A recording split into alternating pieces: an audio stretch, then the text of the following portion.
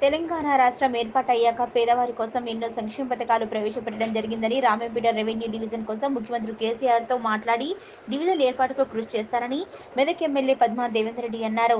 రామేపేట మండల కేంద్రంలోని మధుర గార్డెన్లో రామంపేట మండల బీఆర్ఎస్ పార్టీ అధ్యక్షుడు గజవాడ నాగరాజు అధ్యక్షతన ఏర్పాటు చేసిన బీఆర్ఎస్ పార్టీ ఆత్మీయ సమ్మేళనానికి మెదక్ ఎమ్మెల్యే పద్మా దేవేందర్ రెడ్డి ముఖ్య అతిథిగా హాజరయ్యారు. రామంపేట పట్టణంలోని సిద్దిపేట చౌరస్తా నుంచి మధుర గార్డెన్ వరకు భారీ ర్యాలీ నిర్వహించి ఆమెకు గజమాలతో స్వాగతం పలికారు మెదక్ చౌరస్తాలో గల అంబేద్కర్ విగ్రహానికి ఎమ్మెల్యే పద్మా దేవేందర్ రెడ్డి పూలమాల వేసి నివాళులు అర్పించారు. గిరిజన మహిళలతో కలిసి నృత్యం చేసి మహిళలను మరింత ఉత్సాహపరిచారు. నూతనంగా ఎన్నికైన కోఆప్షన్ సభ్యులు బాలుగౌడ్ అహ్మద్ ప్రభావతి కౌసర్ బేగములను ఆమె పూలమాలతో ఘనంగా సన్మానించారు.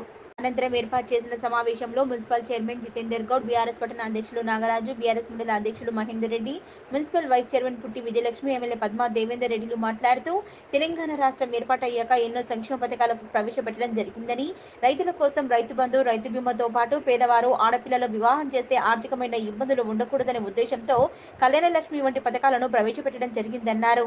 రామాయంపేటను రెవెన్యూ డివిజన్గా ప్రకటించేందుకు గతంలో మంత్రి హరీష్ రావు మాట ఇవ్వడం జరిగిందని ఇచ్చిన మాట ప్రకారం రెవెన్యూ డివిజన్ ఏర్పాటుకు కృషి చేస్తామన్నారు. ఈ కార్యక్రమంలో మెదక్ ఎమ్మెల్యే పద్మా దేవేందర్ రెడ్డితో పాటు MPP Bhikshapathi market committee chairman Saraf Yadagiri municipal chairman Palle Jithender Goud vice chairman Yadagiri IFFCO జాతీయ డైరెక్టర్ దేవేందర్ రెడ్డి టీఆర్ఎస్ మండల అధ్యక్షులు మహేందర్ రెడ్డి పట్టణ అధ్యక్షులు నాగరాజు దేవే యాదగిరి కొండలరెడ్డి చిలక గంగాధర్ కల్వకుంట పిఎస్సీఏ చైర్మన్ అందే కొండలరెడ్డి పుట్టి యాదగిరి దేవుని రాజు వివిధ గ్రామాల సర్పంచ్లు ఎంపీటీసీలు పాల్గొన్నారు. మన అవసరం మన వీరు మన అవసరం ఉంది కాబట్టి మనం చేస్తారని ఎవరో వాళ్ళు అడిగిందని వాళ్ళు లేకుంటే ఏం చేసినా అది చేసినా ఏం లేదు. తప్పకుండా మన మన మన కంప్లైంట్ ఏదో అవసరమో. ముఖ్యమంత్రి గారి దగ్గరికి వెళ్ళి తప్పకుండా గౌరవ హరీష్ రావు గారు మనకు మాట ఇచ్చారు దాన్ని వెనుకపోయే ప్రసక్తే లేదు. మంత్రి గారు మాట ఇచ్చింది కాబట్టి తప్పకుండా దాన్ని కూడా తీసుకొచ్చుకుందాం. అదేవిధంగా ఇంకే సమస్యలు ఉన్నా తీర్చుకుందాం. ఒక కుటుంబ సభ్యులం మనం. కుటుంబంగా కలిసి ఉంటున్నాం. నుండి కష్టంతో మంచి చర్యలో పాల్చుకుంటూ వస్తా ఉన్నాం. నేనున్నా కొన్ని సందర్భాల్లో నేను లేకుండా దేవేంద్ర రెడ్డి గారు కూడా మరి అందరికీ తలో నాలుగు మెదులుతా ఉన్నారు ఇద్దరం గట్టిగా పనిచేసుకుంటూ వస్తా ఉన్నాం ఒక నెల రోజులు నాటి కోపం మూసుకొని మూసవద్దు మరి టీ అంటే టీ అనాలి ఏమనాలి ఇంటికా జవాబ్ ఇంటికా జవాబ్ పర్పస్ దేనా వాళ్ళు ఇంటికతోనే నువ్వు తాడుకొని పాట రాయమంటారు మరి ఏం చేస్తావు నువ్వు ఒక్క వాళ్ళు ఒక్క మాట అంటే నువ్వు రెండారు మరి తప్పు చేస్తాం తప్పు చేయం తప్పు చేసే ప్రశ్న లేదు తప్పు చేయనంత వరకు ఎవరికి భయపడాల్సిన అవసరం లేదు కానీ వాళ్ళు ఒకటంటే మీరు రెండో ఎందుకు ఊరుకుంటున్నాం ఎందుకు ఊరుకోవాలి పని చేసినాం చేస్తాం తక్కువ చేస్తాం ఇంకా తక్కువ పడితే చేస్తాం ఈ ఇరవై రెండు వేల ఒకటి నుంచి ఇరవై రెండు సంవత్సరాలు మనం పోరాడుతూనే సారు చెప్పిన బాటలు నడుస్తుంటూ సారు చెప్పిన వింటూ ఈరోజు మనకు ఈ తెలంగాణ వచ్చినాక ఏం జరిగిందనేది నేను చెప్పే అవసరం లేదు. ప్రతి అక్క చెల్లెళ్ళకు అన్నదమ్ములకు అందరూ తెలుసు. అక్కగారికి వెనువెంటూ ఉందాం. మనం ఏంటంటే మన రామంపేట టౌన్కి వస్తే అందరికీ రాలేదు మేడం. డబుల్ బెడ్రూమ్ల ఇష్యూ మెయిన్. డబుల్ బెడ్రూమ్కు మీరు మాతోటి మా మా పేద ప్రజలు దయించి ఖచ్చితంగా రామంపేటకి ఇంకా నాలుగు వందల యాభై డబుల్ బెడ్రూమ్లు అయితే కంప్లీట్ చేసుకుంటాం మేడం. మనకు జాగా ఫోర్టీన్ ట్వంటీ వన్లో మూడు వందల ఇరవై ఐదు ఎకరాలు ఉంది మేడం. అది రైతులు ఏ రోజైనా వదులుకోనికి రెడీన్నారు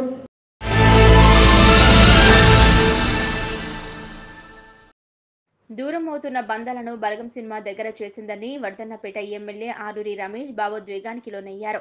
వరంగల్ జిల్లా వర్ధన్నపేట మండల కేంద్రంలో బలగం చిత్ర ప్రదర్శన నిర్వహించారు. సినిమాలో నటించిన పలువురు నటులతో కలిసి ఎమ్మెల్యే రమేష్ చిత్రాన్ని వీక్షించారు. బలగం సినిమాతో యావత్ తెలుగు ప్రజల హృదయాలను గెలుచుకున్న నటులను ఎమ్మెల్యే ఘనంగా సత్కారం చేశారు. ఎక్కడికి బయలుదేరావు కొమరయ్యా? మొత్తం ఎంత చెల్లింపజేసింది హృదయాలని హృదయాల్ని కదిలించి గ్రామీణ వాతావరణాన్ని ఉట్టిపడేలాగా ఓ ఈ సంఘటన మా ఇంట్లో జరిగింది మా గ్రామంలో జరిగిందని చర్చించుకునే విధంగా ఒక చక్కటి చలనచిత్రం ఈరోజు రావడం మనందరం చూడడం మళ్ళీ ఈరోజు ప్రదర్శన కూడా చూడడం మరి ఏ- ఏర్పాటు చేసుకోవడం చాలా సంతోషం.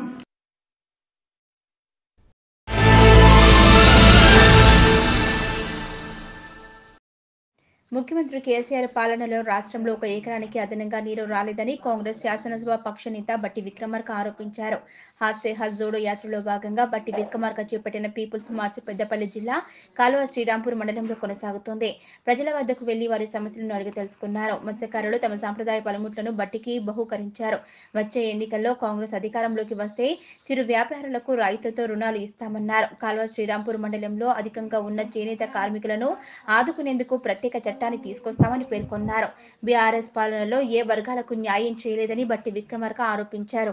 కానీ పెద్దపల్లి శాసనసభ నియోజకవర్గంలో గత తొమ్మిదిన్నర సంవత్సరాలుగా ఈ లక్ష ఎకరాల సంగతి దేవుడెరుగు ఒక్క ఎకరానికి కూడా నీళ్ళు ఇవ్వలేదు. ఇక్కడ పారుతున్నటువంటి పంట భూములన్నీ కూడా నేను మీ అందరికీ తెలిసిందే నేను గుట్టల్లో తిరిగాను బొగ్గుబాయిల మధ్యలో నడుచుకుంటూ వచ్చాను అడవుల్లో తిరిగాను. పెద్దపల్లి శాసనసభ నియోజకవర్గంలోకి వచ్చిన తర్వాత నడుస్తా ఉంటే రోడ్డుకి అటు ఇటు పచ్చటి తివాచీలాగా వరి పంటలు కనిపించాయి. నేను అడిగాను ఇక్కడ ఉన్నటువంటి సోదరులందరినీ ఈ నీళ్ళు ఏమైనా కాళేశ్వరం నుంచి వస్తా ఉన్నాయా? లేకపోతే మనోహర్ రెడ్డి కట్టించినటువంటి చెక్ డ్యాముల నుంచి వస్తున్నాయా? లేకపోతే హరీష్ రావు కట్టించిన ఇంకే ప్రాజెక్ట్ నుంచి ఏమైనా వస్తున్నాయా?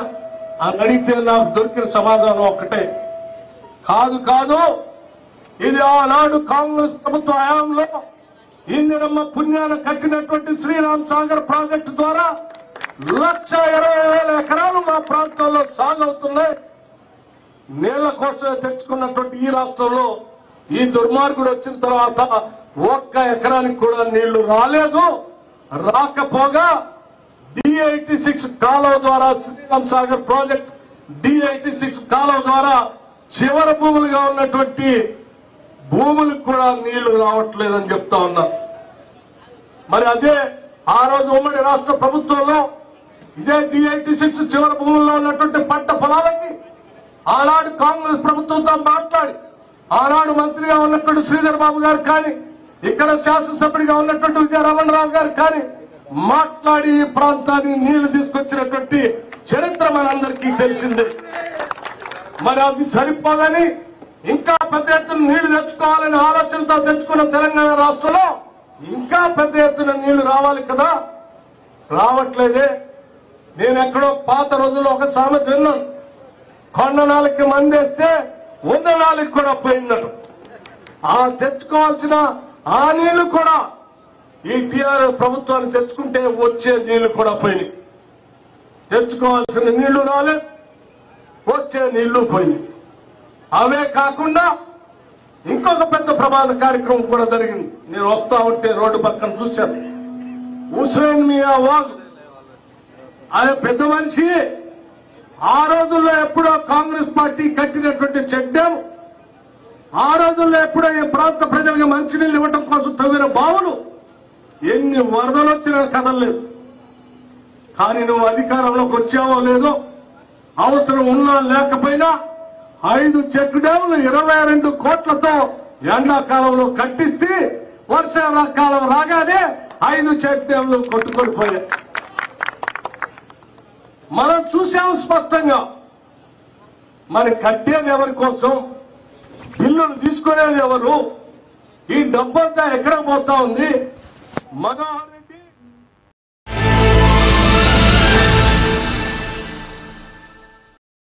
తెలుగు చిత్రసీమలో విలక్షణ నటుడిగా రక్త కన్నీరు నాగభూషణం చెరగని ముద్ర వేశారని రాష్ట్ర ప్రభుత్వ సలహాదారు డాక్టర్ కెవి రమణాచారి అన్నారు. అలనాటి సుప్రసిద్ధ నటుడు నాగభూషణం శత జయంతి సందర్భంగా నాగభూషణం కుమార్తె భువనేశ్వరి దంపతులకు ఆత్మీయ సత్కార కార్యక్రమం రవీంద్ర భారతిలో నిర్వహించారు.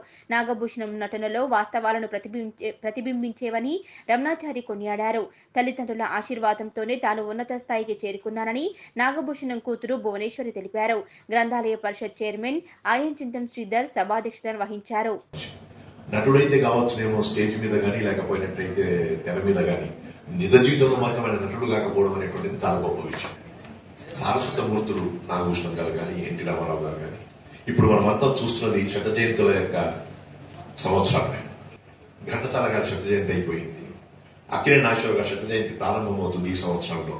ఇలా గొప్పవాళ్ళందరి యొక్క శత జయంతులు అయిపోతున్నవి మొదలవుతున్నవి అనేటువంటిది చూస్తా ఉంటే ఈ శత జయంతులు ఎందుకు అవుతున్నాయని బట్టి వీళ్ళంతా సారస్వత గుర్తు మా నాన్నగారు అంత పేరు సంపాదించకపోయినా కొంత అందులో కొంత పేరు సంపాదించుకున్నా చాలని ఆశిస్తున్నాను పర్సనల్గా ఇంట్లో మా నాన్నగారుగా ఆయన ఆయన ఎంత ప్రేమగా ఉండేవాళ్ళు ఆడపిల్లల్ని ఎంత ముద్దుగా చూసుకునేవారు ఎంత ఇంపార్టెన్స్ ఇచ్చేవాళ్ళు ఆడపిల్లలకి. చదువు అనేది కంపల్సరీ అని చెప్పేవారు చదివించేవారు. అన్ని విషయాల్లోనూ బాగా చూసుకొని మమ్మల్ని బాగా ఇచ్చేశారు ఆయన.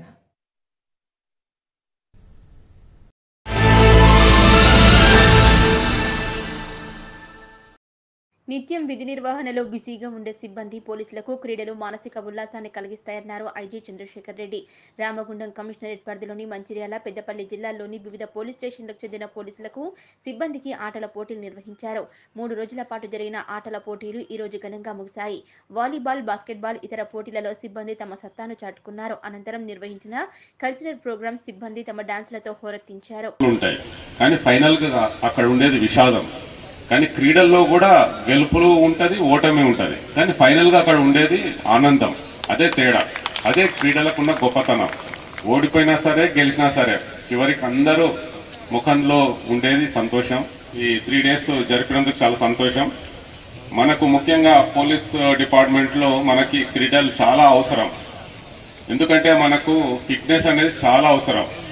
మనం రిటైర్ అయ్యేంత వరకు కూడా మనకు ఫిట్నెస్ ఉండాలి. ఉంటేనే మనం ఉద్యోగము సమర్థవంతంగా చేయగలుగుతాం. మేము ఈ పోలీస్ మీ కోసం కార్యక్రమం అనేది ప్రతి ఒక్క రిమోట్ విలేజెస్లో కండక్ట్ చేస్తున్నాం. సార్ ఈ గత రెండు నెలల నుంచి మేము తిరిగినటువంటి ప్రాంతంలో ఉన్నటువంటి ఎస్పెషలీ ట్రైబల్ బెల్ట్లో మంచి చైతన్యం ఉన్నటువంటి యూత్ పిల్లల్ని ఐడెంటిఫై చేస్తూ వాళ్ళకి మేము స్పోర్ట్స్ కిట్ డిస్ట్రిబ్యూట్ చేస్తున్నాం సార్. ఆ పిల్లలు కూడా దాంట్లో మంచి ప్లేయర్స్ ఉన్నారు. కంటిన్యూస్గా పోలీసింగ్ అనేది డిపార్ట్మెంట్ తరఫున మీరు చేసేది ఒక continuous and serious dedication to service and continuous serious line of యాక్షన్లోనే ఉంటూ ఉంటారు.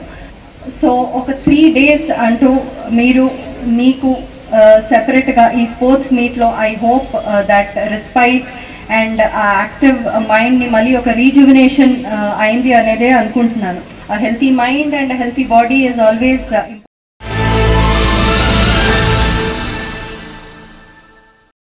Ramzan మాసం సందర్భంగా ముస్లింలకు వైఎస్ఆర్టీపీ అధ్యక్షురాలు షర్మిల ఇఫ్తార్ విందును ఇచ్చారు. హైదరాబాద్లోని తన నివాసం లోటస్ పాండ్లో ఈ విందును ఏర్పాటు చేశారు. ఈ సందర్భంగా షర్మిలకు ముస్లిం సోదరి మనులు రాఖీలు కట్టారు. ముస్లింలతో కలిసి షర్మిల ప్రార్థనలు చేశారు.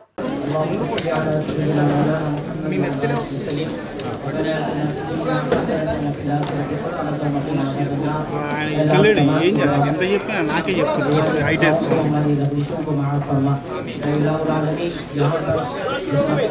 तमाम लोगों को जमा किया गया एक दूसरे के अंदर मोहब्बत को के साथ हम आगे के साथ चलने के लिए बेहताब की मोहतरमा शर्मिला मैडम की जो भी आवाम के लिए, खासतौर पर उनके वाले मोहतरम के जो अंदाज पर आप अपनी ज़िंदगी को गुजारना चाहती हैं अपने फल करम से कबूल फरमा।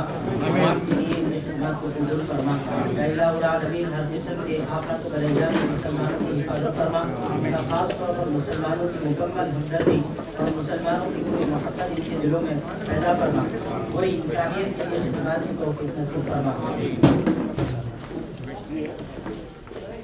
कोई सारे आलम इस्लाम के मुसलमानों की और सारी इंसानियत की हिफाजत फरमा।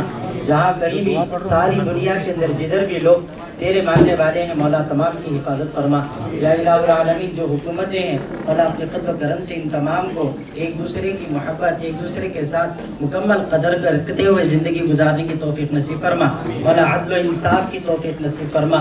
एक दूसरे के साथ, आदल के साथ, इंसाफ के साथ काम करने की तोफ़ी अता फरमा। मौला इस पार्टी के दफ्तर के अंदर जिसे यहाँ पर यहाँ के सदर भी मौजूद हैं। या इलामीन मोहतरमा के जो अगराज मकासद हैं मौला इसे अपने फल करम से कबूल फरमा। मौला इनको खूब कामयाबी नसीब फरमा। हर वो इंसान जो आवाम की खिदमत और इंसानियत के लिए खिदमत करने का एक जज्बा रखता है अपने फजल से उनके जज्बात को और उनको खूब तरक्यात से नवाज़ फरमा। आलमीन हर किस्म से मौला यहाँ जितने हाजरीन हैं इनके दिलों में जो जो जायज़ हाजात तमन्नाए हैं तमाम के जायज़ हाजात को कबूल फरमा। वक्त का रोज़े का वक्त हो गया आप तमाम हजरात रोज़ा शुरू कर लें। अल्लाहुम्मा इन्ना लका संतो वबिका मंतो, व अलैका तवक्कलतु, व अला रिस्तिका अफ्तरतु।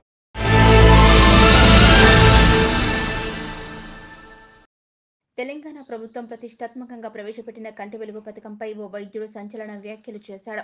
నల్గొండ జిల్లా మిర్యాడగూడలో కంటి వెలుగు కార్యక్రమంలో అక్రమాలు జరుగుతున్నాయంటూ సెల్ఫీ వీడియోలో ఆరోపించారు. కంటి వెలుగు క్యాంపులో డబ్బులు వసూలు చేస్తున్నారని వైద్యుడు ఆగ్రహం వ్యక్తం చేశారు. కనీస సౌకర్యాలు కూడా కల్పించకుండా స్టాఫ్ను పనిచేయమనడం ఇంతవరకు సమంజసమని సోషల్ మీడియా వేదికగా ప్రశ్నించారు. ప్రస్తుతం వైద్యుడు సెల్ఫీ వీడియో సోషల్ మీడియాలో వైరల్గా మారింది నేను పిఎంఎఫ్ఓ వెంకన్న నా పేరు. నేను ఆల్రెడీ పిహెచ్సి నల్గొండ డిస్టిక్లో పనిచేస్తున్నాను. నల్గొండ జిల్లా కలెక్టర్ గారికి అలాగే ఎమ్మెల్యే భాస్కర్ రావు గారికి అలాగే ముఖ్యమంత్రి కల్వకుంట్ల చంద్రశేఖరరావు గారికి అలాగే మరి గౌ గౌరవ మన హెల్త్ మినిస్టర్ గారికి హరీష్ రావు సార్ గారికి నేను తెలియజేయనిది ఏమంటే రాష్ట్ర ప్రభుత్వం నుంచి కంటి వెలుగు టీంలో ఒక్కొక్క టీంకి పదిహేను వందల రూపాయలు భోజనాలకు ఇస్తున్న టీంలో భోజనాలకు ఇస్తున్నారు. అలాగే మీరు టెంట్ల ఖర్చుకు వాటికి కూడా ఒక వెయ్యి రూపాయలు ఇస్తున్నారని తెలిసింది. ఇరవై వందల రూపాయలు మీ టీంకి ఒక్కటికి ఇస్తున్నామని నల్గొండ డిఎంహెచ్ఓ గారు చెప్తున్నారు. కానీ ఇక్కడ పిఎస్సిలో వచ్చేసి ఈ భోజనాల డబ్బులు టెంట్కి అయ్యే ఖర్చు డబ్బులు ఆ విలేజ్ల సర్పంచుల్ని ఎంపీటీసీలని మేనేజ్ చేసుకొని ఆ డబ్బుల్ని వీళ్ళు స్వాహా చేసేసి మాకు అన్యాయం చేస్తున్నారు. సరైన ఫుడ్ లేదు సరైన స్నాక్స్ లేవు. మేము మాత్రం ఇక్కడ ఉన్న ప్రజలందరికీ అద్దాలు వేయడానికి నేను రెడీగా ఉన్నా. అర్థమైందా? సార్ హరీశ్రావు సార్ ఇక్కడ ఉన్న ప్రజలందరికీ నేను అద్దాలు వేయడానికి రెడీగా ఉన్న నా శాయశక్తుల అందరికీ మీరు పంపిన ఎక్విప్మెంట్కు నేను న్యాయం చేసి అందరికీ అద్దాలు ఇచ్చినట్టు నేను చూస్తున్నాను. ప్రతి ఒక్కరికి నేను అద్దాలు ఇస్తున్నాను. కానీ ఇక్కడ వచ్చేసరికి భోజనాల దగ్గర మా పిఎస్సి టీం ఎవరైతే ఉన్నారో డిప్యూటీ డిఎంహెచ్ఓ కేశవరావు సార్ అలాగే ఆళ్ళగడప సూపర్వైజర్స్ కొంతమంది యొక్క భోజనాల డబ్బుల దగ్గర కకృతి పడి మాకు సరైన భోజనాలు పంపించక ఆ వచ్చే పదిహేను వందల రూపాయలు నొక్కేసి అంతా ఆగమాగం చేస్తున్నారు. యాభై రోజుల నుంచి నేను ఓపిక పడుతున్నాను నెల రోజుల నుంచి నేను బాక్స్ తెచ్చుకుంటున్నా. నాకు ఒక్కరికి డబ్బులు ఇస్తుంటున్నారు అది ఏ విధంగా సాధ్యం సార్? నేను టీం అందరికీ పదిహేను వందల రూపాయలని మేము వండించుకుంటాము. మంచిగా తృప్తితోటి తిని ఇక్కడ న్యాయంగా పనిచేస్తాను అంటున్నా కూడా వీళ్ళు మేమేలు చేస్తున్నారు సార్. ఈ ఆలగడప పిహెచ్సి మీద ఎమ్మెల్యే గారు హరీష్ రావు గారు కలెక్టర్ గారు దృష్టి పెట్టాల్సింది కానీ మనవి చేస్తూ ముగిస్తున్నాను. గుడ్ మార్నింగ్ సార్ నేను పిఎంఎఫ్ఓ వెంకన్న నా పేరు. నేను ఆలగడప పిహెచ్సి నల్గొండ డిస్టిక్లో పనిచేస్తున్నాను. నల్గొండ జిల్లా కలెక్టర్ గారికి అలాగే ఎమ్మెల్యే భాస్కర్ రావు గారికి అలాగే ముఖ్యమంత్రి కల్వకుంట్ల చంద్రశేఖరరావు గారికి అలాగే మరి గౌ గౌరవ మన హెల్త్ మినిస్టర్ గారికి హరీష్ రావు సార్ గారికి నేను తెలియజేయనిది ఏమంటే రాష్ట్ర ప్రభుత్వం నుంచి కంటి వెలుగు టీంలో ఒక్కొక్క టీంకి పదిహేను వందల రూపాయలు భోజనాలకు ఇస్తున్న టీంలో భోజనాలకు ఇస్తున్నారు. అలాగే మీరు టెంట్ల ఖర్చుకు వాటికి కూడా ఒక వెయ్యి రూపాయలు ఇస్తున్నారని తెలిసింది. ఇరవై వందల రూపాయలు మీ టీంకి ఒక్కటికి ఇస్తున్నామని నల్గొండ డిఎంహెచ్ఓ గారు చెప్తున్నారు. కానీ ఇక్కడ పిఎస్సిలో వచ్చేసి ఈ భోజనాల డబ్బులు టెంట్కి అయ్యే ఖర్చు డబ్బులు ఆ విలేజ్ల సర్పంచుల్ని ఎంపీటీసీలని మేనేజ్ చేసుకొని ఆ డబ్బుల్ని వీళ్ళు స్వాహా చేసేసి మాకు అన్యాయం చేస్తున్నారు. సరైన ఫుడ్ లేదు సరైన స్నాక్స్ లేవు.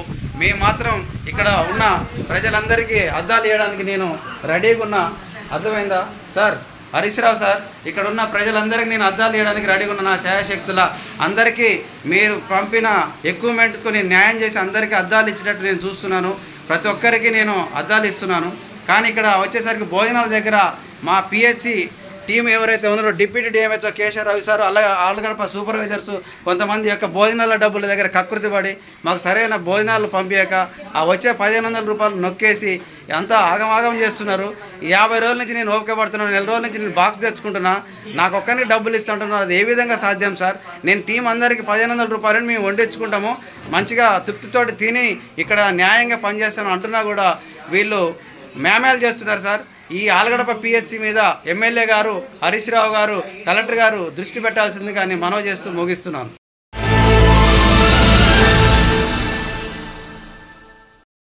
హైదరాబాద్ లక్టీ కపుల్లోని పాత రంగారెడ్డి జిల్లా కలెక్టరేట్ ఎదురుగా ఉన్న ట్రాన్స్ఫార్మర్లో ఒక్కసారిగా మంటలు చెలరేగాయి. పెద్ద ఎత్తున మంటలు రావడంతో స్థానికులు వాహనధరలు అగ్నిమాపక సిబ్బందికి సమాచారం ఇచ్చారు. వెంటనే ఘటనా స్థలానికి చేరుకున్న అగ్నిమాపక సిబ్బంది మంటలను అదుపు చేశారు సమయానికి అక్కడ ఎవరూ లేకపోవడంతో ప్రమాదం తప్పింది.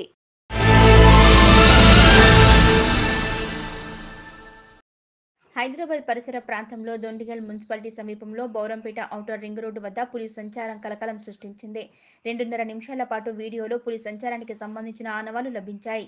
సమాచారం అందుకున్న సూరారం ఫారెస్ట్ సెక్షన్ అధికారి బీట్ అధికారులు ఘటనా స్థలాన్ని పరిశీలించారు. పులి పాదముద్రల ఆనవాలను అధికారులు సేకరించారు. సమాచారం వచ్చింది. అక్కడ మన బౌరంపేట సన్నరేలి అపార్ట్మెంట్ కన్స్ట్రక్షన్లో పులి ఉందని సమాచారం మేరకు మేము అక్కడ విజిట్ చేయడం జరిగింది. ఆ స్పాట్లో ఆ సీసీటీవీ ఫూటేజ్ ఫూటేజ్ దృశ్యాలను పరిశీలించగా ఒక తెల్ల ఒక వైట్ డాగ్ ఆ గేట్ కిందికి వెళ్ళి దూరి అక్కడనే ఆగడం జరిగింది. దాని బ్యాక్ సైడ్లో మాత్రం చిన్న నీడ అటు ఇటు తిరిగినట్టు కనబడుతుంది. కరెక్ట్గా మాత్రం అది పులినా లేకుంటే కుక్కనా అది క్లారిటీ మాత్రం లేదు. కనబడతలేదు. కాకపోతే ఇక్కడ పెద్ద పులి మాత్రం మన ఏరియాలో మాత్రం లేదు. చిరుత పులి మనం ఉంటాయి. కానీ అక్కడ డెన్స్ ఫారెస్ట్ కానీ అక్కడ హైడింగ్ ప్లేస్ అక్కడ ఉండడానికి కానీ ఎలాంటి ఆస్కారాలు అయితే లేదు. ఒకవేళ ఉంటే మేము మాకు సమాచారం ఇవ్వండి. మేము మా డిపార్ట్మెంట్ తరఫు నుంచి మీకు ఏం సహాయం కావాలనో చేస్తామని. అది అంటే ఫుట్ ప్రింట్స్ కొంచెం డిస్టర్బ్ అయి ఉన్నాయి. క్లారిటీగా లేదు అది. అక్కడ మన వాకింగ్ వాకర్స్ కానీ అక్కడ వెహికల్స్ కానీ మూమెంట్ ఉండి ఉండొచ్చు. కావున అసలుకి అక్కడ ఆ ఫుట్ ప్రింట్స్ కూడా ఆర్డర్లో లేదు. స్టెప్ బై స్టెప్లో లేదు. జిగ్జాగ్ ఉన్నాయి. కాబట్టి దాన్ని బట్టి కూడా క్లారిటీగా లేదు మనం చెప్పలేము ఇప్పుడైతే. Last time six month before గండిమేషమ్మలో ఒక స్కూల్స్ దగ్గర మేము అది అపర్ణ కన్స అపార్ట్మెంట్స్ అవి నడుస్తున్నాయి కదా వెంచర్లో దాంట్లో మేము ఒక టూ త్రీ డేస్ మొత్తం తిరిగి చూడడం జరిగింది పోలీస్ డిపార్ట్మెంట్ మేము అందరం. అక్కడ ఏమే వాళ్ళు ఆ స్కూల్ వాళ్ళు మాకు కనబడింది అన్నారు కానీ అది ఎక్కడ అనేది కనపడలేదు. మేమంతా తిరిగి చూడగా ఏం మాకైతే ఆనవాళ్ళు ఎక్కడ కనపడలేదండి. రాత్రి గస్తీ చేయడం జరిగింది పెట్రోలింగ్ మా వాళ్ళు కూడా పోలీస్ డిపార్ట్మెంట్ కూడా చేయడం జరిగింది. నిన్న అయితే రాత్రి ఎలాంటి సమాచారం అయితే లేదు మాకు. మాకు వాళ్ళకి అక్కడ లోకల్ వాళ్ళకు మోటివేట్ చేయడం జరిగింది. వాళ్ళు ఎక్కడ భయభ్రాంతులకు గురి కాకుండా ఉండాలని. మాకు ఏదైనా ఉంటే మాకు సమాచారం ఇస్తే మేము ఇమీడియట్గా అటు స్పాట్ను సందర్శించి తగిన జా- చర్యలు తీసుకుంటాం.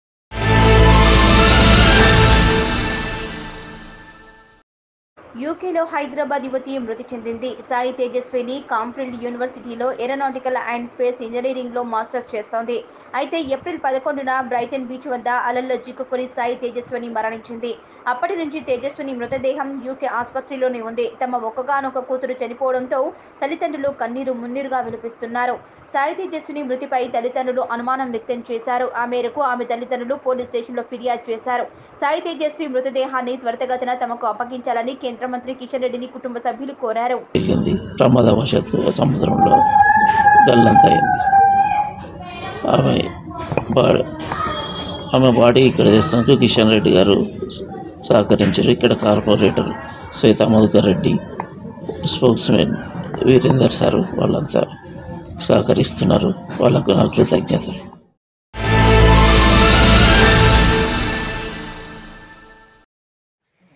నారాయణపేటను రెవెన్యూ డివిజన్గా ప్రకటించాలంటూ చేపట్టిన రైల్వే నిరాహార దీక్షలు నేటికి ఇరవై ఐదవ రోజుకు చేరుకున్నాయి. నేడు రామాయంపేట పట్టణంలోని మున్నూరు కాపు సంఘం ఆధ్వర్యంలో ర్యాలీ నిర్వహించారు. నిరాహార దీక్షలో కూర్చున్నారు. అనంతరం మున్నూరు కాపు సంఘం సభ్యులు మాట్లాడుతూ రామయ్యపేటను వెంటనే రెవెన్యూ డివిజన్గా ప్రకటించాలని గతంలో రామయ్యపేటకు ఎంతో పేరు ప్రఖ్యాతులు ఉన్నాయని కానీ ప్రస్తుతం చిన్న మండలంగా ఏర్పడి పూర్తిగా అభివృద్ధికి కుంటుపడిందన్నారు.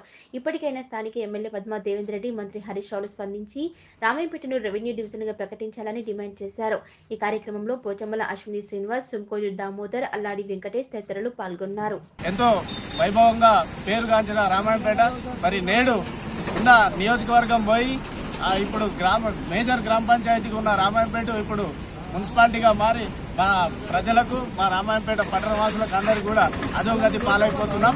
ఇప్పటికైనా స్థానిక ఎమ్మెల్యే గారు కానీ మరి మంత్రి హరీష్ రావు గారు కానీ సీఎం గారి దృష్టికి తీసుకెళ్ళి మా రామాయంపేటను రెవెన్యూ డివిజన్గా ప్రకటించాల్సిందిగా మరి రామాయంపేట పట్టణానికి సంబంధించిన యువకులు పెద్ద మనుషులు యువజన సంఘాలు కుల సంఘాలు విద్యార్థి సంఘాలు అందరం కూడా పేరు పేరున రెవెన్యూ డివిజన్ మరి కావాలని అందరి ఆకాంక్ష కాబట్టి డివిజన్ కావాలని ఎన్నాళ్ళ నుంచో కొట్లాడుతున్నాము. ఆ డివిజన్ ప్రకటించారు మేము ఒక మండలి కాగానే ప్రకటిస్తామన్నారు. అవన్నీ ఒట్టి మాటలు అయిపోయినాయి.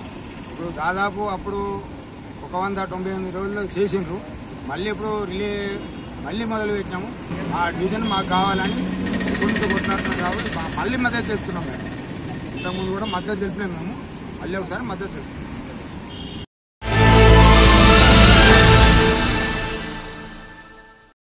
సీతాఫల్ మడిలోని జెడ్పీహెచ్ఎస్ స్కూల్ క్యాంపస్ను మాజీ IAS officer Akunuri Murali professor Lakshminarayana doctor Prithviraj సందర్శించారు. అనంతరం ఆకునూరు మురళి మాట్లాడుతూ సికింద్రాబాద్ ఎమ్మెల్యే పద్మారావుపై ఆగ్రహం వ్యక్తం చేశారు. కొత్త జూనియర్ కాలేజీ భవనం ఫిట్ కండిషన్లో ఉన్న స్కూల్ భవనం మొత్తాన్ని కూలగొట్టించారన్నారు. కమిషన్ల కక్కుర్తి పడి సీఎం రాష్ట్ర అభివృద్ధి ఫండ్ నుంచి ఇరవై తొమ్మిది కోట్లు మంజూరు చేయించుకున్నారని ఆరోపించారు. టెండర్లు పిలవలేదు. కాంట్రాక్టర్ని సెలెక్ట్ చేయలేదు. కేవలం తన మనుషులతో కట్టిద్దామని ప్లాన్లో ఉన్నట్టు కనిపిస్తుందన్నారు మురళి. స్కూల్ హెచ్ఎం కి జూనియర్ కాలేజీ ప్రిన్సిపల్కి కనీసం సమాచారం ఇవ్వకుండా పాఠశాలను కూల్చడం అన్యాయమన్నారు. బడి అధికార అల్మారాలు లైబ్రరీ అల్మారాలు లాబొరేటరీ పరికరాలు ఉన్న బడి గదులను కూల్చడం దారుణమన్నారు. దీంతో ఏడు వందల యాభై మంది విద్యార్థులు రోడ్డు మీద పడ్డారన్నారు. నియోజకవర్గానికి సంబంధించి జిల్లా పరిషత్ హై స్కూల్లో ఉన్నాము. ఇదే స్కూల్ క్యాంపస్లో మనకి జూనియర్ కాలేజ్ ఉండింది తర్వాత జిల్లా పరిషత్ హై స్కూల్ ఉండింది. సో సుమారుగా హై స్కూల్లో ఎనిమిది యాభై మంది పిల్లలు చదువుతున్నారు. అట్లాగే ఇక్కడ జూనియర్ కాలేజీలో కూడా వందకు పై చిలుకు పిల్లలు చదువుతున్నారు. ఇక్కడ విషయం ఏంటంటే క్లియర్గా ఇప్పుడు మనకి తెలంగాణ జరుగుతున్నటువంటి ఒక కమిషన్ల వ్యవస్థకి నిలుటద్దం లాగా అనమాట అంటే ఇది ఇది కట్టి ఒక పది సంవత్సరాలు అయింది ఇంతవరకు. అంటే మంచి కాలం స్ట్రక్చరు కాలమ్స్ బీమ్స్ అన్ని ఉన్నటువంటి ఈ జూనియర్ కాలేజ్ స్ట్రక్చర్ని కూలగొట్టేసిండ్రు. అట్లా వెనకాల చూడండి అది కూడా కాలం స్ట్రక్చరు. అది కట్టి ఇరవై ఐదు సంవత్సరాలు అయింది. ఇంకొక ముప్పై నలభై సంవత్సరాలు ఉన్నటువంటి బిల్డింగ్ అది. నేను సివిల్ ఇంజనీర్ చెప్తున్నాను. దాన్ని కూడా అనవసరంగా కూలగొట్టిండ్రు. ఏంటంటే ఇప్పుడు పద్మారావు నగర్ ఎమ్మెల్యే గారు ఆయన స్పెషల్ డెవలప్మెంట్ ఫండ్ ఎందుకంటే ఆయన డిప్యూటీ స్పీకర్ కదా. మరి ముఖ్యమంత్రిని కన్వీన్ చేసుకొని ఇరవై తొమ్మిది కోట్ల రూపాయలతోని ఒక ప్రాజెక్ట్ తెచ్చుకున్నాడు ఈ స్కూల్ కాలేజ్ కట్టడానికి. అంటే యాక్చువల్గా అవసరం లేదు. దీని మీద కట్టొచ్చు దీన్నే రినోవేట్ చేయొచ్చు నిజానికైతే. ఇంక పైన ఇంకొక ఫ్లోర్ వేయచ్చు దీనిపైన ఇంకో ఫ్లోర్ వేయచ్చు. కానీ ఏంటంటే కమిషన్లు కావాలి కదా మరి? ఇది మరి పది పర్సెంట్ తీసుకుంటారో పదిహేను పర్సెంట్ తీసుకుంటారో మనకు తెలియదు కానీ కమిషన్ల కక్కుర్తి గురించి పిల్ల- ఈ బిల్డింగ్లు గులగొట్టి మళ్ళీ ఇప్పుడు ప్రజల్ని పిల్లల్ని ఆ చెట్ల కింద కూర్చోబెట్టి సో భవనాలలో కాకుండా బయట కూర్చోబెట్టి చదువు చెప్తున్నటువంటి పరిస్థితి మనకు కనబడుతుంది క్లియర్గా ఇది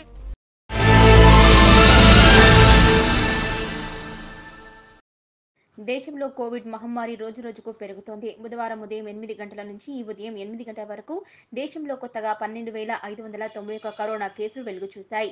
నిన్నటితో పోల్చితే కేసుల్లో ఇరవై శాతం పెరుగుదల కనిపించినట్లు కేంద్ర ఆరోగ్య శాఖ తెలిపింది. Omicron sub variant X BB one point one six కారణంగానే భారీగా కొత్త కేసులు నమోదవుతున్నాయని వైద్యులు చెబుతున్నారు.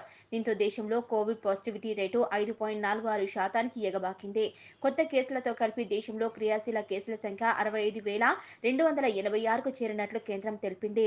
ఇప్పటి వరకు దేశంలో మొత్తం కరోనా కేసుల సంఖ్య నాలుగు పాయింట్ నాలుగు ఎనిమిది కోట్లకు దాటగా మొత్తం మరణాల సంఖ్య ఐదు పాయింట్ మూడు ఒక లక్షలకు పైగా నమోదయ్యాయి. ఇప్పటి వరకు రెండు వందల ఇరవై కోట్లకు పైగా టీకాలు పంపిణీ చేసినట్లు కేంద్ర ఆరోగ్య శాఖ వెల్లడించింది.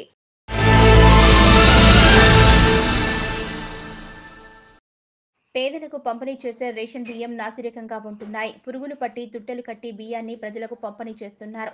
తాజాగా మెదక్ జిల్లా శివంపేట మండలం లచ్చిరెడ్డి గూడెంలో ముక్కిపోయిన పురుగులు ఉన్న రేషన్ బియ్యం రేషన్ షాపులు పంపిణీ చేశారు. దీంతో లబ్ధిదారులు ఆందోళనకు దిగారు. సన్న బియ్యం పంపిణీ చేస్తామని చెప్పి ముక్కిపోయిన పురుగుల బియ్యాన్ని పంపిణీ చేస్తున్నారని లబ్ధిదారులు ఆగ్రహం వ్యక్తం చేశారు. రేషన్ బియ్యం నాసిరకమైనవని కావడంతో వాటికి పురుగులు పడుతున్నాయని వాపోయారు. బియ్యం అంతా పురుగులు పట్టి తుట్టెలు కట్టి ఉండడంతో ఎలా తినాలని ప్రశ్నించారు?